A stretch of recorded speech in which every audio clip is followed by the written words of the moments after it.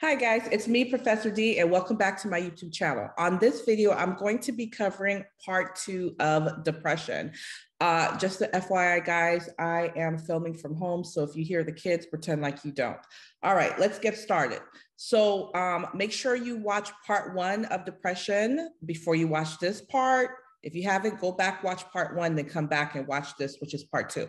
So with part two, this is where we ended, and this is where um, we ended with this in part one. We're going to start here, part two, implementation. So look what it says. It says, should I make this bigger for you? Let me make this bigger. There we go. It says there are three major phases in treatment and recovery from major depression. Now, guys, something you need to keep in mind don't forget depression is anger, hostility, resentment turns who? Turn towards who? Themselves. Okay. The acute phase is six to 12 weeks. It's directed at reduction of depressive symptoms and restorations of psychosocial and work function. It's directed towards getting that patient symptomatically to start to feel better, have enough energy to go back to work and perform just their activities of daily living. But let me tell you something that is the most dangerous time. You have to be very careful because as the, the, symptoms start to lift and you know the patient starts to have more energy, guess what? They may have just enough energy to go ahead and finish off their plan that they had to kill themselves. They have the energy to follow up with that plan. So you have to watch and monitor that patient very closely, okay? If they're inpatient. Now, the continuation phase, this is four to um, nine months.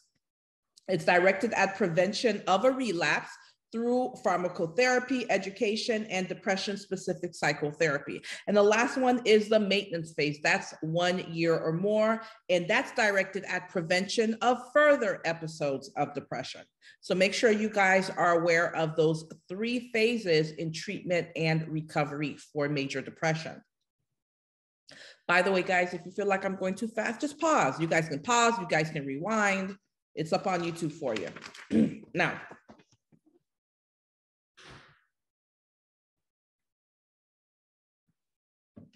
look this up for you.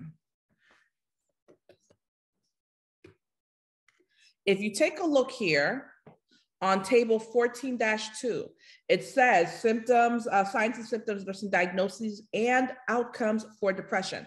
What I want to focus on, guys, are the signs and symptoms and the accompanying nursing diagnoses. You need to understand what they are and why we're using them. So let's start with the signs and symptoms of, I don't know why I don't have this highlighted, but it's very important. Previous suicidal attempts. Any patient who has attempted suicide before, they're at high, high, high risk for another attempt putting affairs in order. All of a sudden, they want to have a will, right? Uh, people, family members that they were estranged with, they want to make amends. They're putting their affairs in order, giving away prized possessions. When it comes to NCLEX, we usually see this as a question and it's related to an adolescent or teenager or high schooler that is giving away their favorite necklace or uh, clothing or whatever it is that's important to them and the list goes on. You guys can read that on your own. But when it comes to these signs and symptoms, your nursing diagnosis is going to be risk for self directed violence, risk for suicide. You're going to be concerned about them harming or injuring themselves.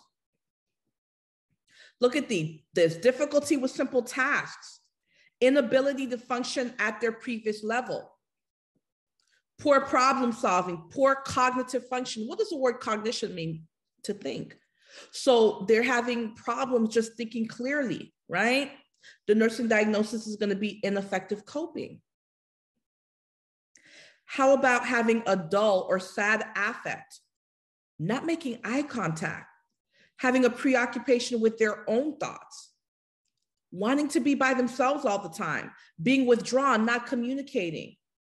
Your nursing diagnosis is going to be social isolation feelings of helplessness, hopelessness, powerlessness. Your nursing diagnosis would be something like hopelessness or powerlessness. How about them questioning the meaning of life and existence or anger towards a greater power or them being upset with God, them feeling abandoned? Nursing diagnosis, spiritual distress. It's kind of blurry. Let me see if I can make it easier to see for you. No.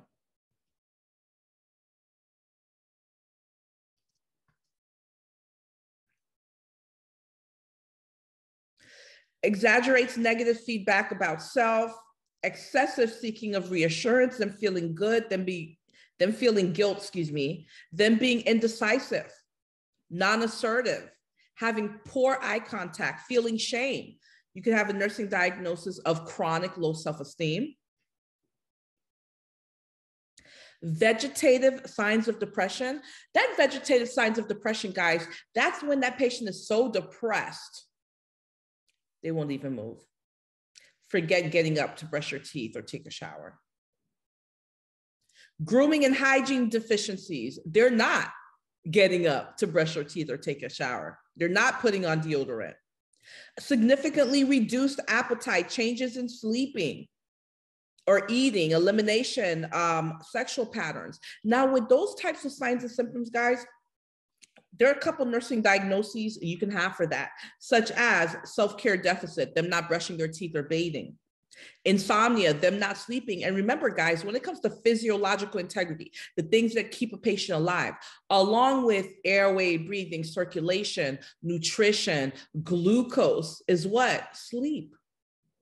You need sleep in order to physiologically stay alive. So that's going to be a priority as well imbalanced nutrition because of decreased appetite, constipation. Why would they be constipated? They're not drinking fluids. They're not moving, which means their GI tract has decreased, has slowed down. Yeah, they're going to be constipated. Sexual dysfunction, they have no urge for sexual activity.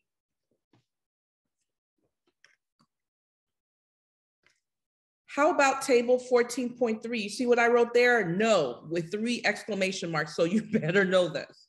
All right. So this says guidelines for communication with severely withdrawn persons. When a patient is silent, use the technique of making observations. Just observe what you see. Here's an example. There are many new pictures on the wall. Or you can say, you're wearing your new shoes. Give them an opportunity just by making that observation even if they reply with one word, they say yes. That's a dialogue. That's a beginning of a dialogue. Okay. You want to use simple, concrete words.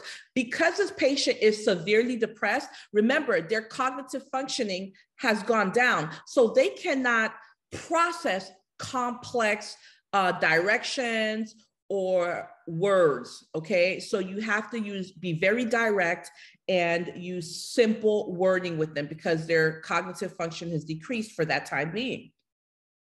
Allow the patient time to respond. If you make an observation or you ask them a question, don't follow it up with another statement. Sit there and be quiet. Give them time to formulate a thought, and they're going to need time to formulate thoughts. Why? Because the cogn- cognitive function has slowed down. Listen for covert messages and ask questions about suicide plans. What do I mean by covert messages?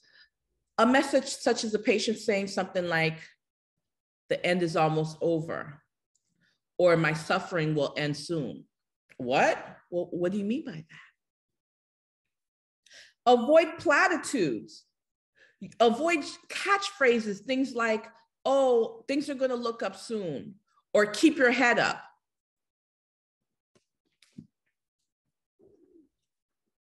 Table 14 dash four guidelines for counseling people with depression. I'm not going to go over them, but I'm going to go over the most important things that I want you to draw from this. So let's look at this intervention. It says work with the patient to identify cognitive distortions that result in a negative self-perception. So you're going to work with that patient, those thought processes that they have that keeps making them think negatively about themselves. Because remember, depression is anger, hostility, resentment, negative feelings towards self, negative thoughts towards self. So you're going to help them resolve and work through those negative thoughts that they have about them, their own selves. And remember, those negative thoughts about themselves are distortions. What is a distortion? Something that, something that, um, what's the word? Deviates from reality. It's not the truth.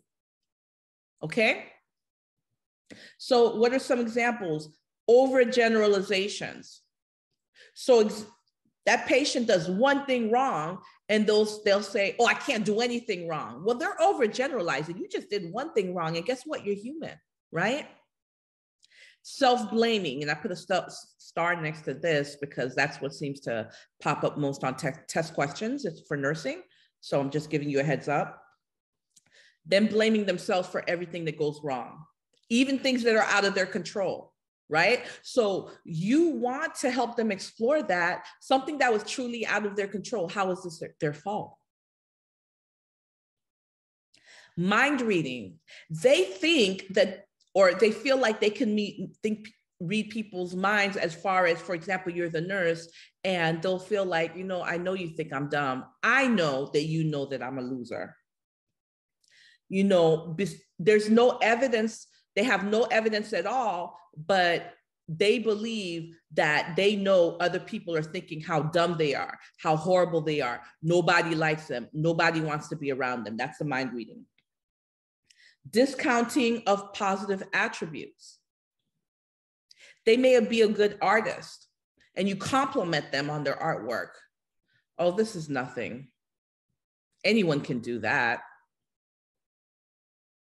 You want to help them identify their current coping skills and explore alternate coping skills. Encourage exercise. Guess what? Them moving about, that is going to release endorphins. It's going to help them start to feel better. So encourage exercise such as running and or weightlifting.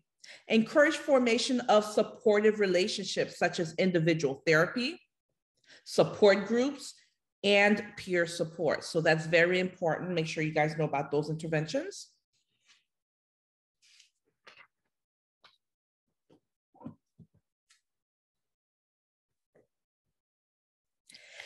Table uh, 14.5, this as well. You see what I put? No, with three exclamation marks. Very important. You have to know these inter, um, interventions for those patients that are in vegetative states, which means they're not moving. They're not even getting up to brush your teeth, comb their hair, nothing.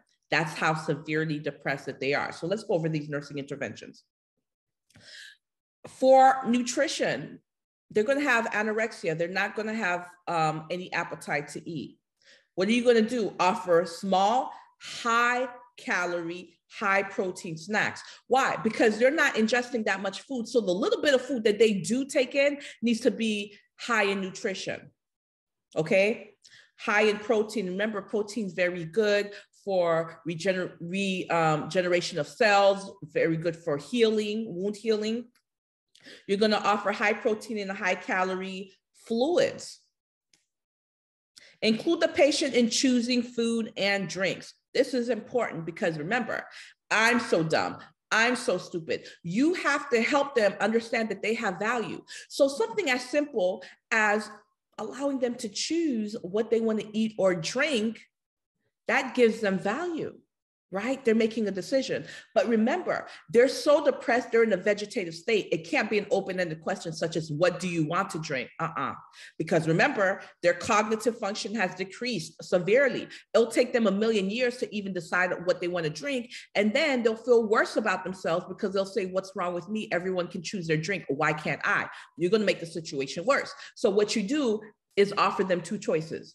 Would you like, I shouldn't say Coke or Pepsi because those aren't really healthy. But you can say, would you like apple juice or orange juice? You give them two choices to choose from. So that way you're helping to increase their self esteem while not overwhelming them with all of the choices that they would have to choose from.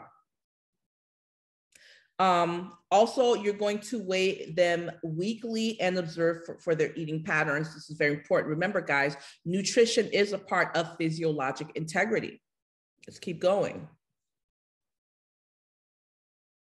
For sleep, you're going to provide periods of rest after activities. It could be a simple activity as playing cards with the patient or maybe them going to group therapy but remember they are severely depressed. So what can seem like something very small and minute to us is a big deal to them and you have to provide rest afterwards. Encourage them to get up and get dressed and to stay out of bed during the day and that's going to help them to be able to sleep through the night provide decaffeinated coffee and soda they don't need any caffeine they're already not getting enough sleep when it comes to self care deficits, them not combing their hair, brushing their teeth, taking a shower, do, doing those regular hygiene measures and activities of daily li- living, encourage them to use the toothbrush, washcloth, soap, makeup, shaving supplies. They'll start to feel better about themselves. Encourage hygiene. When it comes to elimination, primarily constipation, because remember, they're not moving much, they're not drinking fluids, they're really not eating much. Yeah, chances are high they're going to be constipated. You're going to monitor their I&O, okay, especially the bowel movements, provide um, periods of exercise because remember, as they're moving, guess what increases? Peristalsis. They'll get thirsty with the exercise, drink more, right? You're going to encourage intake of fluids and evaluate the need for laxatives and enemas we don't want to give laxatives and enemas. We try to go with the least invasive measure possible, but sometimes it's necessary. So you're going to still have to assess the patient for the need for them. Okay. All right, guys. Part three, I'm going to start on the antidepressive drugs. This is where we're going to start with part three. And just something I want you guys to keep in mind when it comes to the um, antidepressant medications, our number one go to class of drugs for antidepressants are the SSRIs. They have the least amount of adverse effects and they tend to be the most effective. However, there are other classes if the SSRIs are not doing the drug are not doing the job that we go to. So I'm going to be covering all of these medications. That's going to be part three of depression. If you haven't seen my video that I did on um, antidepressant drugs. That's actually in my pharmacology playlist, but I think I added it to my psych playlist as well. Watch that as well. It's very informative. And I'm going to also be touching up on this in part three. So guys, in the comment section, please let me know what you thought about this video. Let me know what you'd like to see me cover. Please if you're interested in supporting my channel, the best way you can support my channel is by engaging with me in the comment section, sharing my videos on your social media platforms such as Instagram and Facebook, and of course, checking out my audio lesson and possibly purchasing a lesson or two on my website, nexusnursinginstitute.com. Don't forget, you guys can see me cover a variety of questions almost daily on my other social media platforms such as TikTok Instagram, and Facebook. Thank you so much for watching this video and you guys will see me on the next video.